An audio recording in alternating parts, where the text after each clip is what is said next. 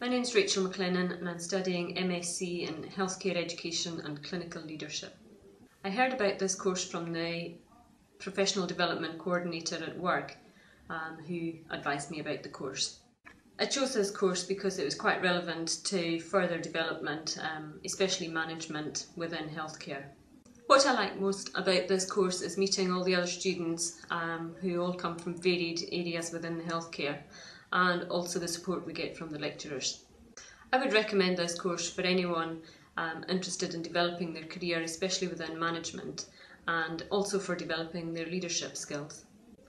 I think the best advice I would give would be to refresh your IT skills. Although we get a lot of support, um, there are some IT skills that might need refreshing.